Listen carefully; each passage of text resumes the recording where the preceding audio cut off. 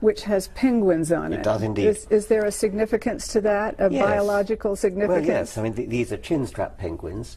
Um, it's hand-painted by my wife, Lalla Ward. Really? Um, as all my ties are. She paints ties. So this is a one-off tie. There's nothing else like it in the world. It's fabulous. We went to Antarctica last Mm-hmm. Christmas uh, on, a, on a cruise, and um, we spent Christmas on the boat in Antarctica. So this was my Christmas present, because we were seeing millions of penguins, and, and Mm-hmm. this was a wonderful present to have. Do you have a particular interest in penguins, or is No, I love penguins. I mean, they're astonishing animals, the way they fly underwater. They look so clumsy on land, like clumsy little humans, um, waddling along. Then they get underwater, and they're phenomenally fast. You wouldn't believe how, how quickly they can, they can swim through the water. The streamlining is beautiful. Uh, and so, like, like dolphins, they're astonishingly fast. And they do dolphining out of the water. They, they, they jump out of the water and then back in again in a, in a lovely dolphin-like way. Um, you, your first big success was The Selfish Gene, a book called The Selfish Gene, and then you wrote The God Delusion, um, which made you a rather controversial figure, but also, um, along with Christopher Hitchens and Sam Harris and Daniel Dennett, um, really made the word atheist acceptable.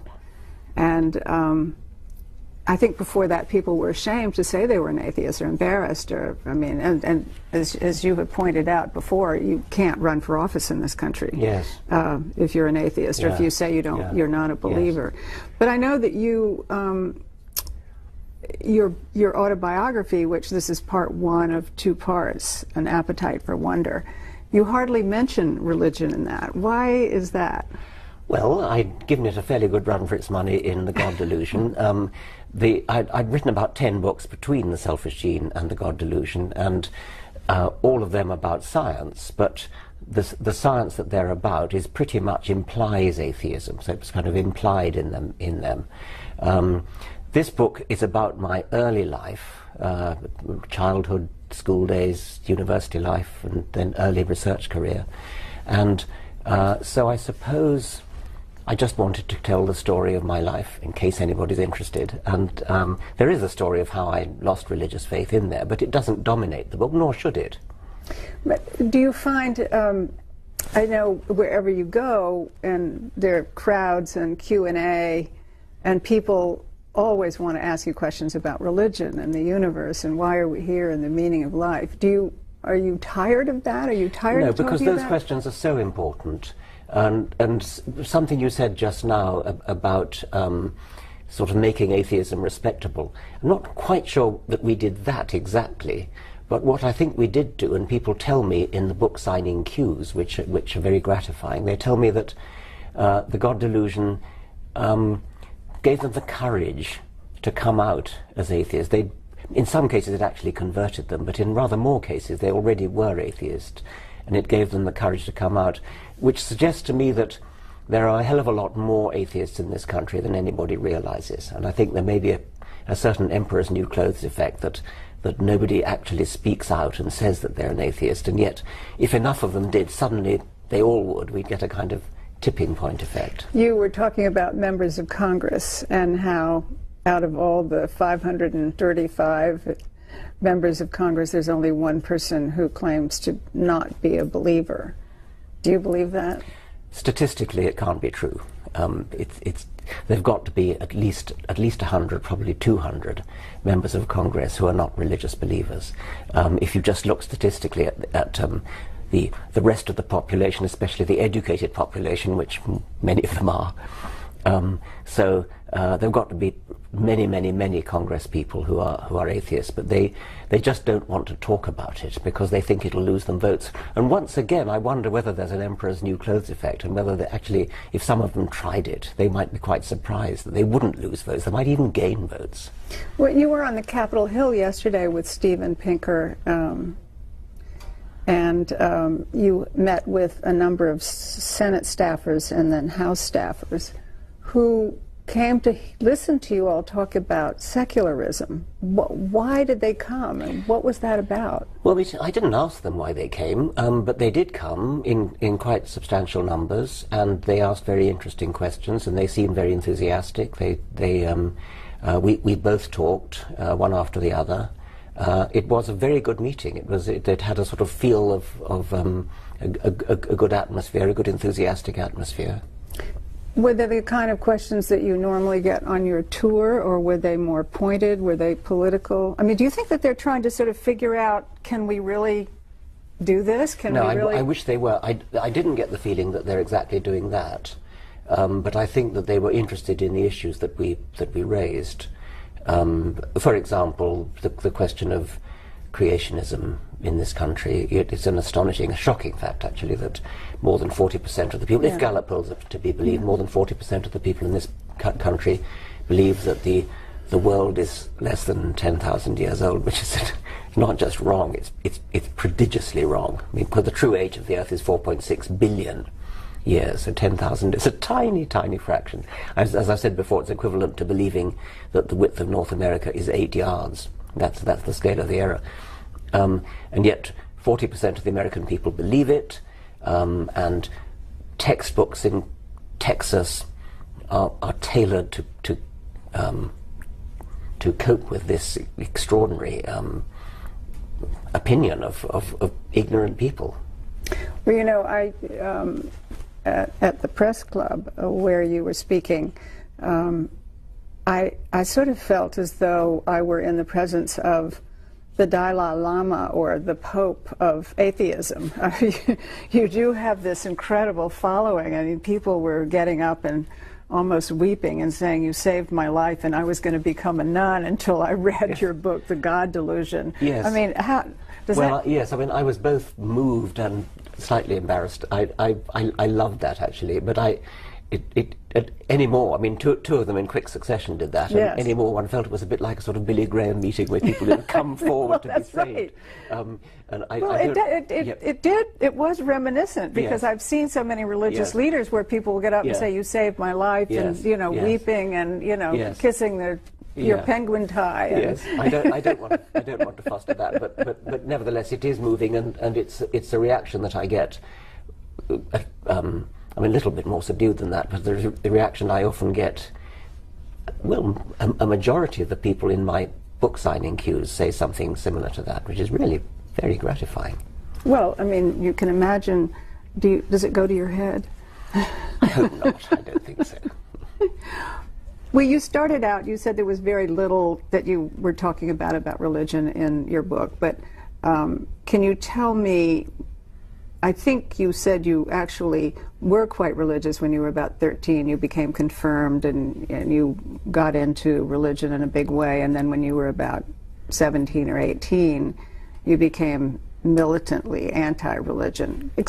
Tell me about that. Well. I- I- was it um, the science that did yes, it for you? it's Yeah. not unusual for a child to be religious. I mean, uh, uh, my parents actually weren't, but but nevertheless, um, my schools were, and I, I was confirmed, and everybody at the school was confirmed. And I think there was one boy who was sort of Roman Catholic family, and and and he he wasn't. Perhaps he was confirmed into the Roman Catholic Church, but all, all the rest of us were automatically confirmed into the Anglican Church. Um, so it wasn't a big decision on my part. I just kind of went went with the flow, uh, and then was pretty religious until the age of about 15 and then and then gave it up when I found that the the Darwinian alternative which really works as an explanation for the apparent design of living things. I was I was a biologist. I was very impressed with the apparent design of living things. They look designed. I mean you know penguins look beautifully designed for swimming very fast through the water. Uh, they're not designed. They've evolved by natural selection and it took me until I was about 16 to really understand that properly. And then I gave up all semblance of religion.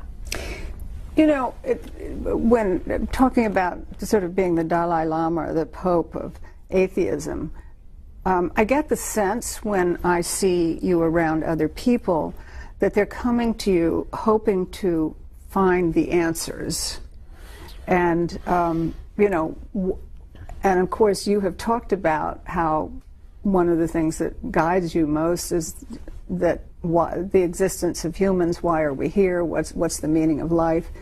Um, do you ever feel somehow inadequate that you can't provide the answers they're looking for? It's- because it yeah. does have a, there is a certain messianic um, feeling about it. You know, the people will go to the Dalai Lama. I, I went to hear the Dalai Lama and I didn't understand a word he said, but people were weeping and, you know, Yes. getting down on their knees and, you know, um, and so I, it, it, it, I don't mean to make it sound like that with you, but, but um, do you ever feel that eh, somehow you should have the answers and you don't have the answers? These are not my answers. I mean, I, I heaven forbid that I should be, be treated in this way. Um, these are not my answers. These are the answers of science, and I, I, I uh, can can try to express the answers of science. The questions we're, we're talking about, these are the deep questions. Why are we here? What are we for? When did life start? Why did it start? All those sorts of questions. They're not my answers. These these are the answers of standard science, and and I've done my bit to try to to explain them in, in really all, all my books. And so I try to do that, but heavens above, I'm not a messianic leader or anything like that.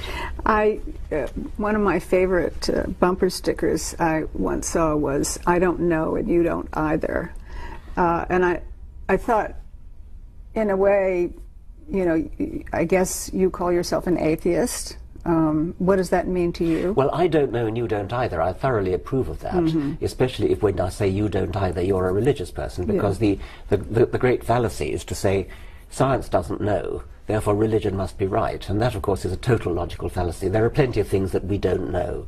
There are things that science doesn't know. But if science doesn't know something, there's absolutely no reason to think that religion does know it. We mustn't fall into the trap of thinking that there's a kind of religious default which we default to when science can't provide the answer.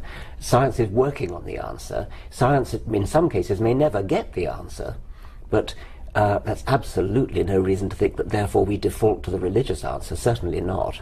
You you you talk about um, various different labels. There's atheist, there's agnostic, there pantheist, there deist. Uh, how do you define the difference in Okay. those, and and what what works for you? Okay. Um, well, uh, de- deism is, is, as you know, the, the, the belief that no particular personal God, but just some kind of creative intelligence which set the whole clockwork running, set the universe going, and then retired and did nothing more. So doesn't forgive sins, doesn't listen to prayers, doesn't know what we think, has no interest in human affairs, just started the laws of physics going. That's deism. Um, theism is belief in some kind of personal God um, such as the Christian God, the, the Muslim God, um, the, the, the gods of Valhalla, the gods right, of right. Olympia, and so on. Um, pantheism, I've characterized as sexed up atheism. Um, it's sort of it's kind of what Einstein be- believed. He, he, Einstein did not believe in any kind of personal God, but he had a kind of reverence for that which we don't yet understand. And some pantheists sort of feel there's a, as a kind of, I don't know, it, it, it's hard to quite characterize exactly what, what, what pantheists uh, believe. Agnostics are people who don't know. That word was coined by Thomas Henry Huxley, Darwin's friend and colleague. Um, some people confuse agnosticism with thinking there's a kind of 50 50 toss up whether there's a God or not. Um, and there's really no reason to, to plump for 50 50. Um, in a sense, we're all agnostic because we can never actually disprove. We can't disprove leprechauns and, and, and pixies. Um, we have to be agnostic about them. But for all practical purposes, we are a leprechaunists and a pixieists and a fairyists. Um, and in the same way, um, we can be we can be atheists while technically ad- admitting that we cannot actually disprove the existence of any particular God. So why wouldn't you call yourself a um, an agnostic then? I mean, Well, I, I do sometimes call myself an agnostic, but I but I'm I'm a bit wary of that because people sometimes think that means a total non-commitment, um, and, and and I'd rather say that I'm an I'm an atheist in the same sense as I'm an a tooth fairyist. Do you um, has your view changed of religion um, since you wrote the God Delusion? No. You and and you seem at uh, at least when the book came out, it seemed to me that you um, were much more militantly atheist than you are now. I mean, you, you seem to be have pulled back a little bit. No, I haven't pulled back. No. Um, actually, you might be, if you reread The God Delusion, you might be quite surprised, actually. I think it's a bit of a myth that it's a militant book. Um, it's been assiduously criticized as a, as a militant book, and it's been called aggressive and strident and shrill and things like that. Um, I think if you read it again, you might think, oh, that's a, you know, I've actually ha- had people say that to me, that they, that they thought it was going to be a militant book because they'd read critics of it. And then, I mean, one woman told me that she uh, thought she'd better eventually get around to reading it because she'd heard it was such a militant, strident, shrill, aggressive book. And she couldn't believe it was the same book because it was actually quite a gentle book. And the, the, the, the, my latest book, the, the Appet- An, An Appetite for Wonder, is a gentle book too. So I don't think I've pulled back. Mind you, this is not about religion, but I hope it comes Uh, across this as is a an extremely gentle book. Um, I found anyway. Um, it's very cozy. Mm. Not too cozy, but- not too cozy. But no, but it was it was very thoughtful and and um, it it um, it sort of belies the impression that some people have of Yes. you that you're this sort of radical fundamentalist yes. screamer Yeah, and yes. yeller. I don't, I don't shout. no, no. There's there's no shouting in here at all. Um, but I, when you talk about pantheism, uh, deism, all of that, you have to look at science and you say, okay, well, we can sort of trace it back to the Big Bang, the creation or whatever it is, and then we don't know what happens after that. Before um, that, you mean? Or before that, I mean. if- if We do before know means anything at all, Right. yes. Well, exactly. And then you, you've talked about nothingism. Yes. What does that mean? I mean, how can you put your mind around that? I mean, don't you lie awake at night? Because you say you don't like not understanding things. And Yes. obviously, your whole life Yes. is about trying to understand things. Doesn't it make you crazy sometimes that you don't understand it? Yes. Uh, I mean, I'm not a physicist, and, and so I, I mean, I, I, I'm a biologist. I'm an evolutionary biologist, and so I, I know that the human brain was never evolved to understand uh, the mysteries of quantum theory, for example. Um, uh, the human brain evolved to understand how to hunt antelopes on the African plains and how to find water holes and how to find a shelter for the night uh, and how to find a mate. Um, the, these are all practical problems, and the human brain evolved to solve them. Very surprisingly and, and wonderfully, the human brain turns out to be capable of doing all sorts of other things, like poetry and music and logic and mathematics, and quantum theory. Not all of us, very few of us can do it, but um, there are ph- physicists who can uh, cope with this, these profundities, these difficulties of um, modern physics. It isn't easily compatible with common sense. Uh, the How- Big what Bang. do you mean? Well, the the Big Bang it ca- and and the, the the the statement that physicists make that time and space began at the Big Bang. There is no meaning to the word before. Well, I can't comprehend that. I don't think you can. Um, No. But that's no And I'm not the number one thinker in the But- world, but that's you are. that- oh come on. That's that's no reason to um, that's no reason to retreat from it, because if you could do physics by common sense, we wouldn't need physicists. I mean, th- there are difficulties here which common sense can't cope with, and, and some physicists say that, that that they are when they actually try to understand it with their own subjective, intuitive feelings. They can't either. They can do the mathematics and it works. Um, Lawrence Krauss, my colleague, uh, we did a film together called The Unbelievers, um, and he's written a book called A Universe from Nothing. And he produces physical, uh, a physical theory, mathematically worked out, to show that you can get something from nothing. That uh, no, that nothing and nothing some, in some strange way cancel, cancels itself out to produce something, and quantum theory allows that to happen. Well, um, I'm humble enough to say I don't understand it, and I'm not arrogant enough to say because I don't understand it, therefore it can't be right, as I said before. If we could do physics by common sense, we wouldn't need physicists. So, what's hard to understand is if there is this creation um, and there was a creator or something, it was created it, then who created the No, no, creator? the- what well- created the creator? And, and what they're saying is nothing. There was nothing. Yes, there was no need to talk about a creator. Yeah, that's just too hard to understand. Yes, it Yeah. Is. It's, too, it's, it's too hard to understand at a cognitive level Mm-hmm. as ordinary human common sense beings. Um, but the, the physical theory is there. Not all physicists accept it. They have a different theory.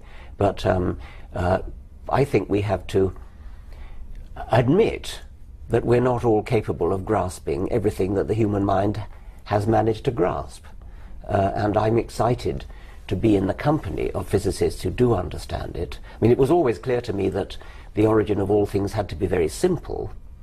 Uh, because it's a hell of a lot easier to get something from, from some, from, to get complexity from simplicity by, I mean, I'm an evolutionist and that's what evolution does. Um, you can start with simplicity. I wasn't quite prepared to start with absolutely nothing, uh, but I sort of imagined that, that, that things started with, with, with great simplicity. Well, um, now I'm told by physicists you can start with absolutely nothing. Mind you, it's a little bit um, exactly what you mean by nothing is, is up for dispute. no, I really can't do it. No, okay, all right. I mean, I can't either. Um, you obviously you live and work in an, in an atmosphere of academia, and so you know a lot of very smart people, and um, you, some of them are religious. How? Not many. no, well, most scientists are not. Yes. I don't know what percentage, maybe ten percent or five percent. Well, it depends. It depends how you how you me- how you measure it. Um, if you take all scientists working in the United States, polls suggest about um, 40% are religious. If you take the elite scientists of the United States, who are members of the National Academy of Sciences, they've been elected as distinguished scientists, then it's about 10% are religious. But if you actually meet a scientist who claims to be religious, and you ask what they really believe, uh, it, it's quite likely to turn out to be some sort of pantheism. Um, probably, in, many ca- I mean, in some cases, it really is a personal God. It really is the Christian God or the, or the Jewish God. Uh, but quite often, it is actually um, a pantheistic sort of Einsteinian religion, which is not really what I would call God belief at all. I know that you've done a number of debates, and um, when you're when you're in a debate with somebody who is a believer, believes in God, or even believes that Jesus is the Son of God, how, how do you can you respect somebody who believes that? I mean, do you think that they're stupid? No, I don't think. I mean, I, I always try to respect the individual people, uh, whether or not I respect their beliefs. And in the case of the of sort of bishops, I mean, people who are, who, who, are, who are Christian but have sensible views of science, um, then I, I, I can even respect their their beliefs. I can't respect the beliefs of young Earth creationists. I mean, I could have to regard them as either ignorant or or stupid. Um, but I, I hope I treat them with with with politeness. Um, Johann Hari, the British j- journalist, said a rather nice thing. He said, "I respect you as a person too much to respect your ridiculous beliefs." Is that rather nicely? I think so. I mean, yes. Um, because your book is called An Appetite for Wonder, and also um, wonder often is what people who are religious or believers talk about the transcendent, the, the wonder of the universe, the wonder of God, all of that. Can you separate those out? Of course, yes. Um, I think any good scientist is filled with wonder. Um, Einstein said it, Carl Sagan said it. Uh, great scientists are always filled with wonder. They, they, they, they rely on their imagination. Einstein said imagination is more important than knowledge. Uh, so wonder, yes. Uh, and I think that scientists have probably a better handle on wonder than, than theologians. I mean, we are aware of the sheer wonder of the fact that the universe is gigantic, that time is gigantic, um, that life was produced by explicable phenomena working over a very, very long time, working on very simple beginnings, just the laws of chemistry, just molecules interacting with each other, and by this astonishing process called evolution by Darwinian natural selection, produced ever increasing complexity of living creatures, including ourselves, including our brains, which are so complex and so large that they finally become capable of understanding the very process that gave rise to them. I mean, that is a wonderful thought. And who, who, who in any the, eh, who among theologians could possibly match that for a wonderful, exhilarating thought? Let's talk about the sneeze. Right. so, you say that um, if Hitler's father had sneezed at a certain time, Hitler may not have been conceived. Uh, would you explain what you y- mean yes, by that? Yes, I mean, I, I wanted to make the point that we that our existence, every one of our existences, hangs by a thread of quite astonishing luck. And so um, I chose Hitler because if Hitler hadn't lived, then the whole history of the 20th century would, have, would have been different. Um, Hitler's father, his name wasn't Hitler, it was Schicklgruber. Yeah, yeah. Heil Schicklgruber. Yeah. Um, if, if Herr Schicklgruber uh, had not, sn- I mean, I, I, of course I don't know when, when, when he sneezed. What I'm saying is that a sneeze 20 years before Hitler was born would have been enough to change circumstances, knock-on effects, such that the why? I mean, explain well, why okay, the I sneeze. mean, Hitler came into existence because of a particular sperm out of millions happened to hit a particular egg at a particular time. Now, um, Aldous Huxley expressed that rather elegantly in, in his poem, which went a million million spermatozoa, all of them alive, out of their cataclysm but one poor Noah dare hope to survive. and of that billion minus one might have chanced to be Shakespeare, another Newton, a new Donne, but the one was me. Shame to have ousted your betters thus, taking ark while the others remained outside. Better for all of us, froward homunculus, if you'd quietly died. well, we But all what of us have that. We all of us Explain the have that sneeze. What, Okay. the, what the sneeze has to do with Right. it. Um, never mind the sneeze. I mean, just the, the moment of conception of any one of us. A million, million spermatozoa. The exact timing of the, of the act of copulation which gave rise to each one of us would have totally changed which of a million, million sperms hit the jackpot on that particular occasion. Now, a sneeze immediately before the conception could clearly have that effect. It would simply change the timing.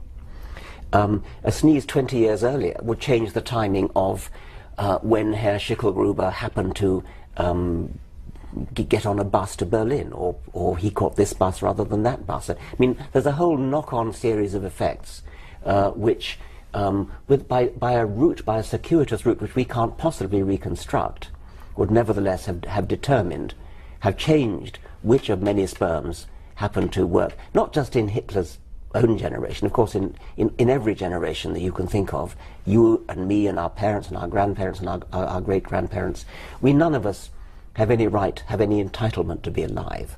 Yet we are. With hindsight, somebody had to be alive, and it happens to, to, to, to be us.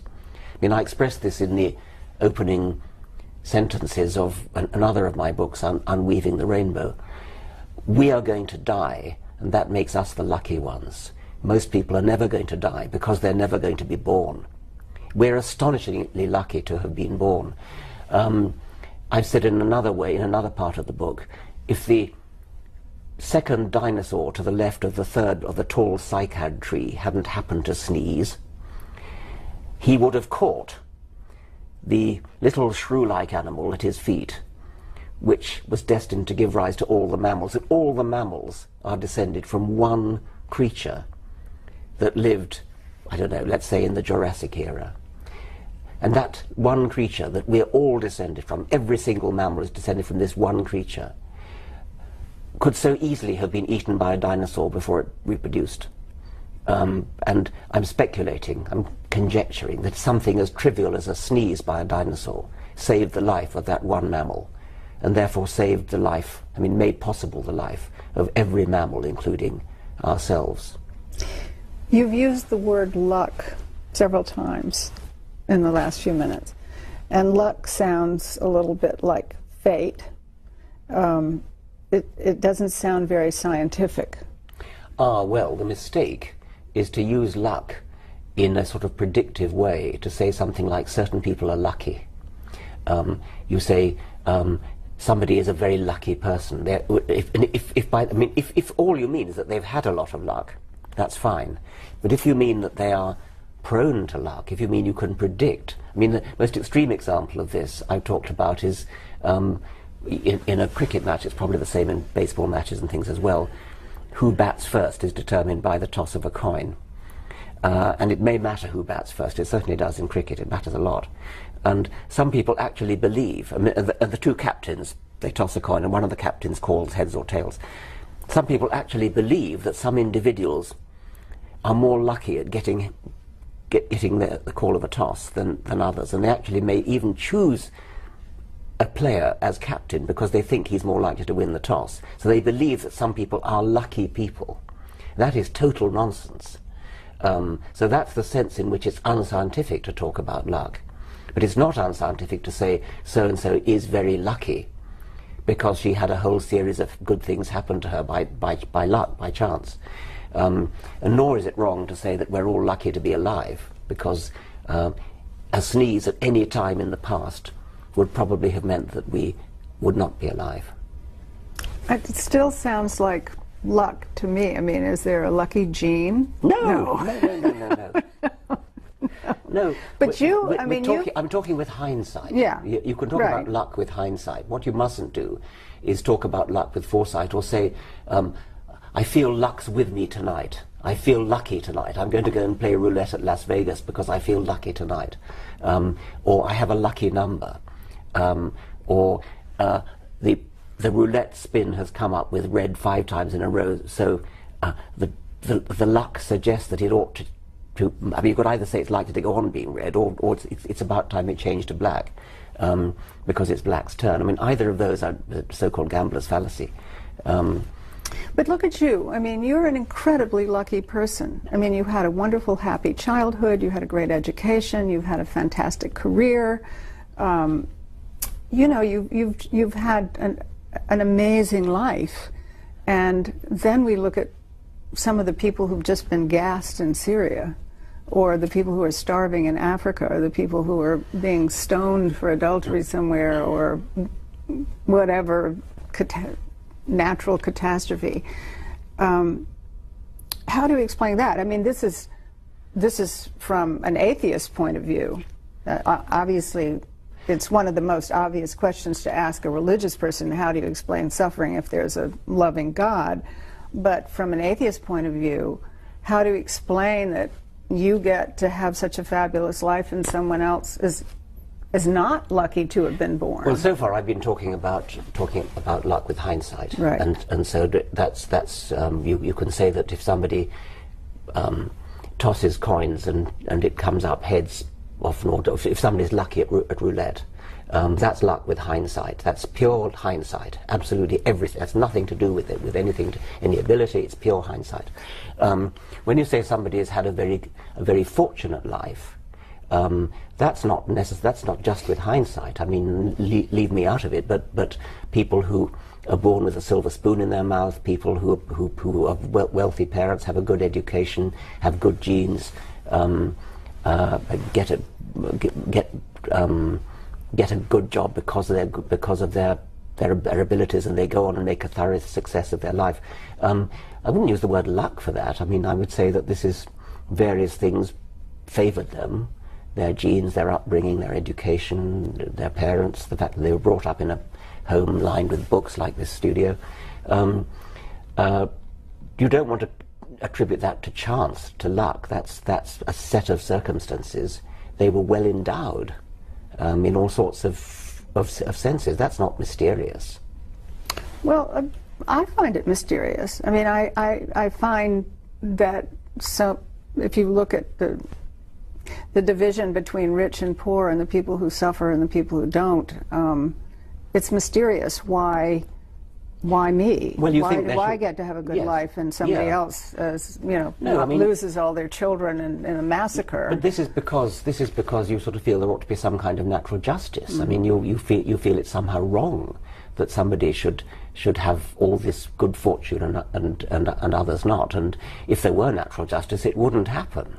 And and certain societies do their best to, um, to as it were, redistribute uh, the, the good fortune. Countries like the Scandinavian countries that have high tax rates and take a lot from the rich and give to the poor. Um, I mean, things like Obamacare is trying to do in a very, very small way. Um, uh, this is trying to achieve a certain amount of natural ju- of, of, of justice, of redistributive justice. Um, and you, you are protesting when you say some people have a charmed, good life and other people um, end up being gassed in, in Syria. That's, of course, terrible. Other people are poor. Some are rich, some are, some are poor. Um, your, your, your sense of justice uh, rebels against that because you feel somehow it's wrong. Um, but it's the, it's the way things happen. You can do something about it. You can say, let's reform our society in such a way that we do redistribute the good fortune a bit. But there's no natural justice. The universe doesn't owe poor people the same living as, as rich people. It's just the way things happen to turn out. When, when people say something like, um, if somebody gets a terrible disease, gets terrible cancer, painful cancer or something, says, why me? Why did it happen to me? I didn't ever do anything wrong. I, I'm a good person. Why me? It's a total fallacy to think that because you're a good person, therefore bad things shouldn't happen to you. Or you're a bad person and you have a perfect health. Again, no natural justice. There isn't any natural justice. That's one of the points. So you mentioned earlier that if you have good genes, so what does that mean to have good genes? Well, your genes affect all sorts of things like your health, your ability to do to do things, your mental ability, your physical ability. That's what natural selection is all about. The choice of good genes um, to survive, genes that help you to survive. And um, in the wild, uh, all animals are um, subject to natural selection, which means that the genes that make them good at surviving, because it gives them good eyesight, good ears, good good um, claws, good teeth, good running limbs, good wings to fly with, um, those are all those all represent good genes, and it's the good genes that survive to the next generation, and then the next, and then the next. So genes are very important in endowing an individual of any species with the ability to not just survive but to do all sorts of other things. So some people undoubtedly will be endowed with better genes than others. People may die because they have genetic diseases, other people are endowed with genes that make them live a, a long, healthy life.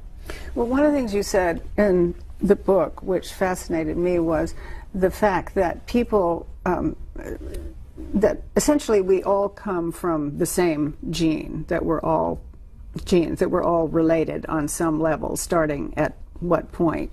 And, um, and then, but then you say that if, if you go three or four generations along, the person in the last generation probably won't have very much genetic fam- No, that's right. sameness Yes. as person. It- will you explain that? Yes. Um, if you want to ask the question, um, how long ago did we share a common ancestor? The answer is probably not very far.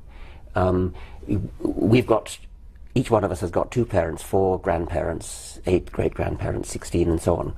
Um, that exponential increase in ancestors can't go on.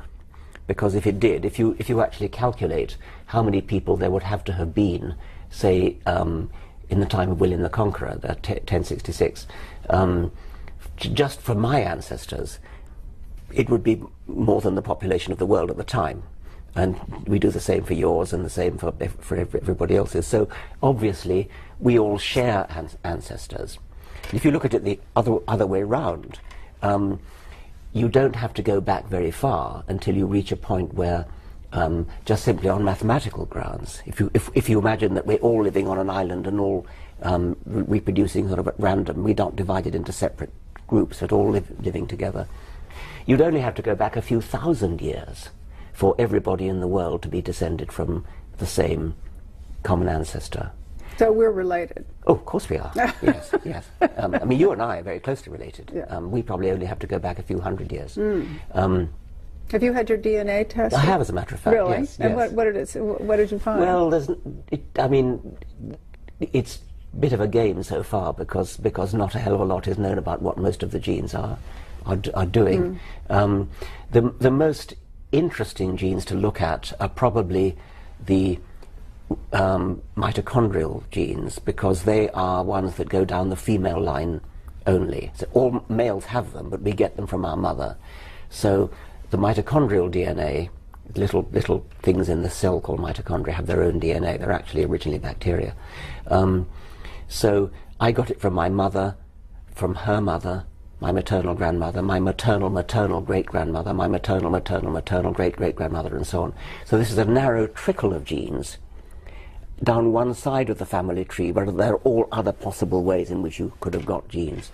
So um, this makes mitochondrial DNA very easy to trace because it's not constantly being swamped by sexual reproduction. It doesn't recombine with other genes.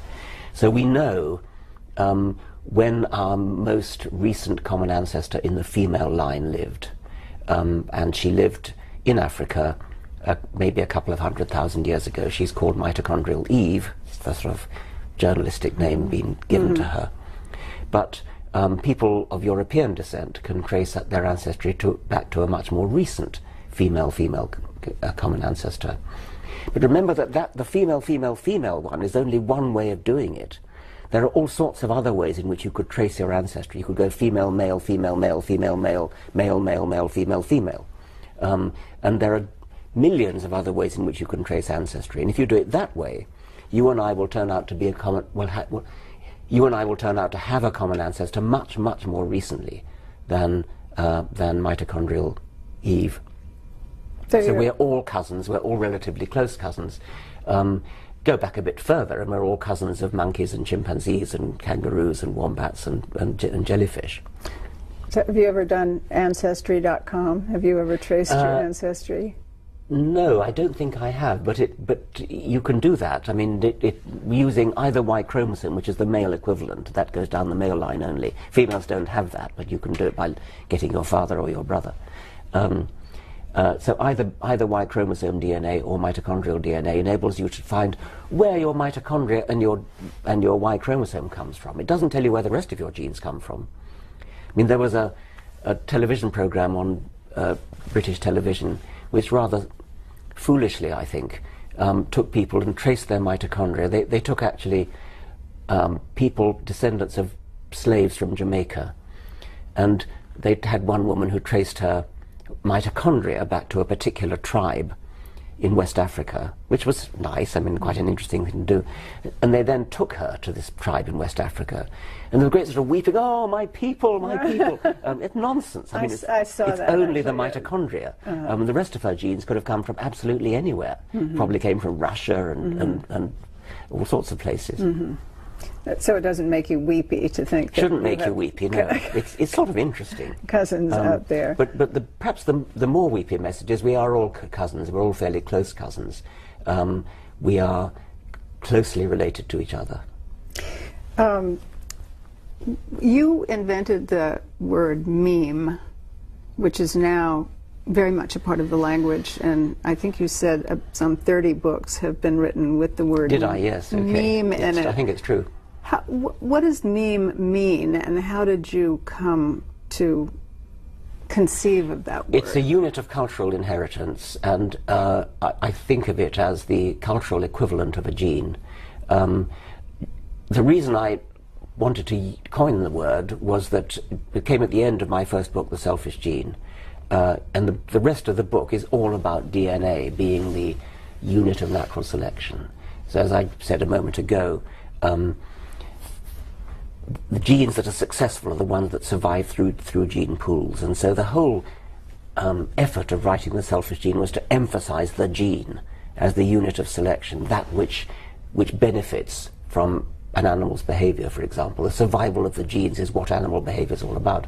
But I wanted to not leave the reader with the impression that genes are everything. I wanted to leave the reader realizing that natural selection could work on anything which is self-copying. Anything where there is where information is copied through something equivalent to generations. DNA is the most important example, but something that's imitated from human brain to human brain, um, a clothes fashion, a way of speaking, uh, um, a tune. Uh, use use the word in a in a sentence. Um, the reverse baseball cap is a meme that has spread from America in youth culture all over the world.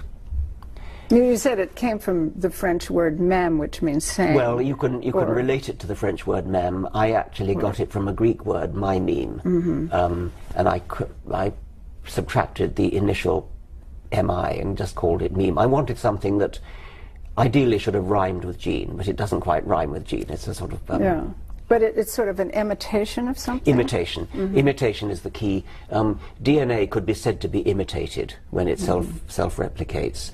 Um, if I sing you a tune, um, and you get the tune in your head, it, it's a catchy tune. You, you catch it, and then you go out into the street and you find yourself whistling it. You've changed the medium from voice to whistling. It doesn't matter. Somebody else hears you whistling it, and they pick it up and they sing it, and somebody else hears it, and they sing it, and somebody else hears it, and they, and they whistle it. It can potentially spread like an epidemic.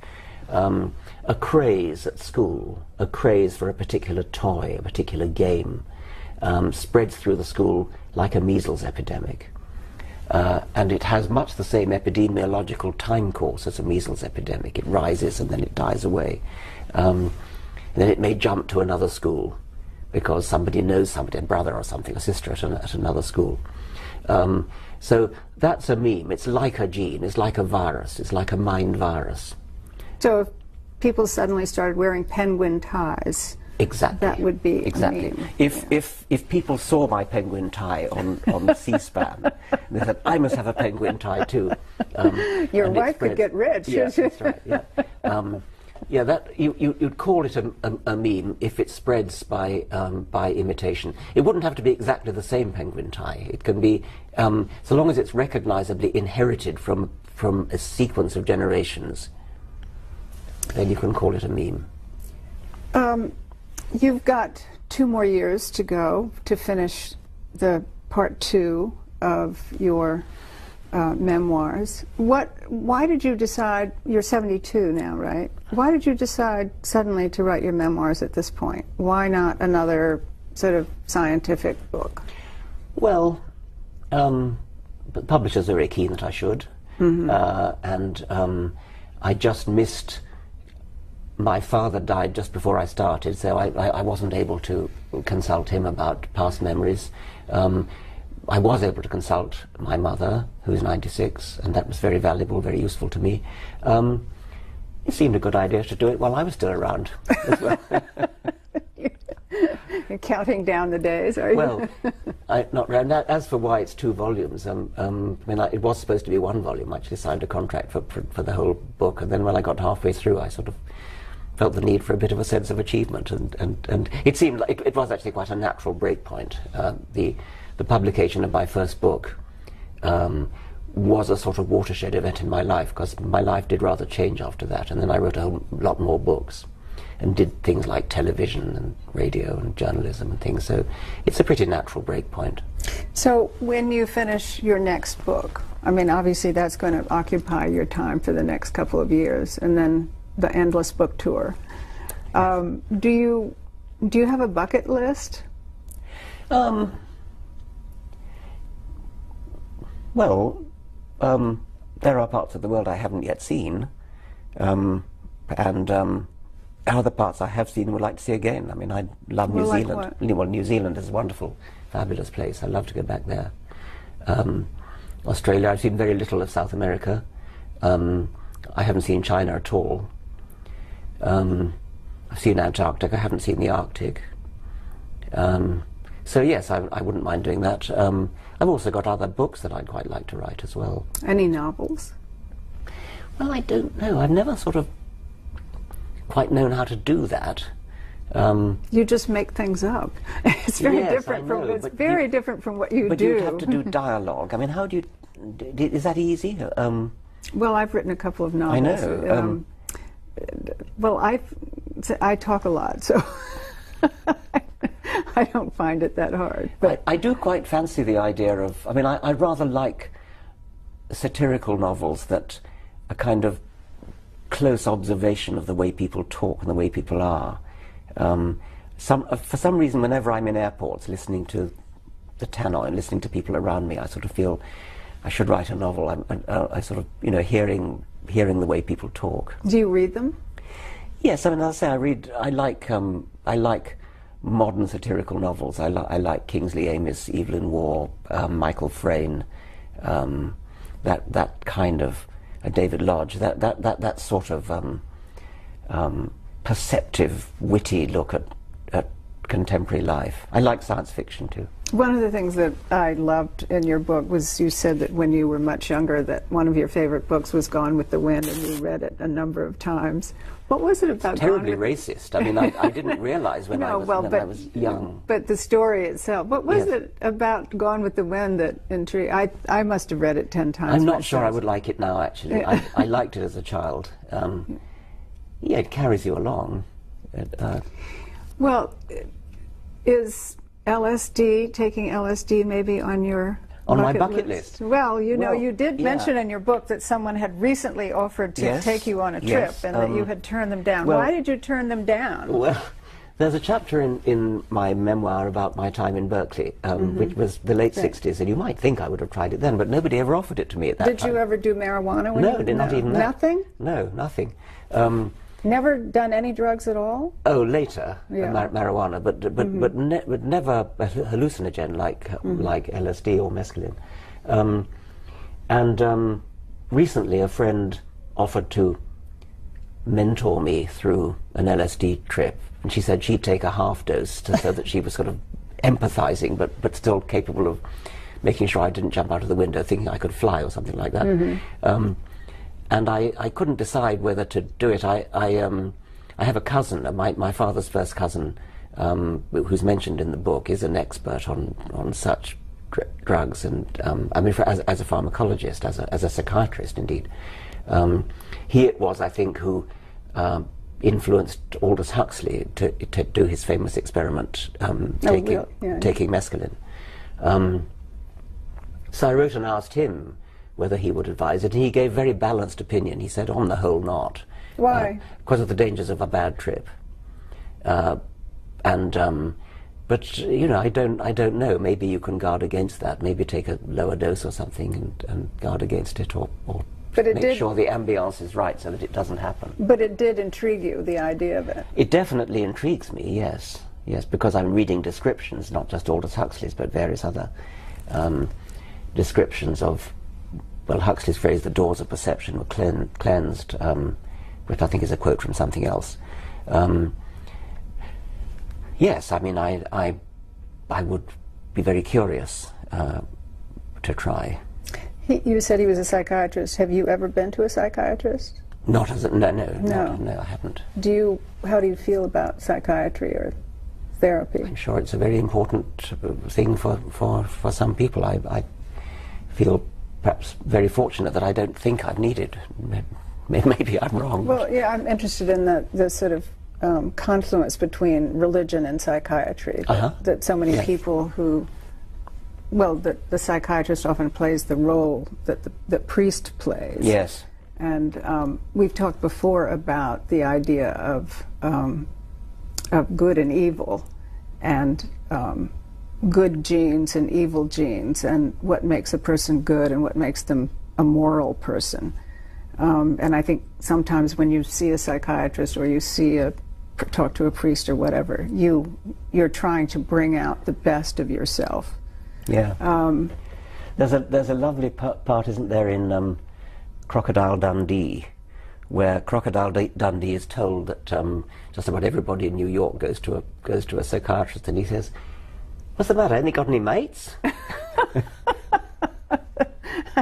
I, I didn't remember that. yeah, that's a nice one.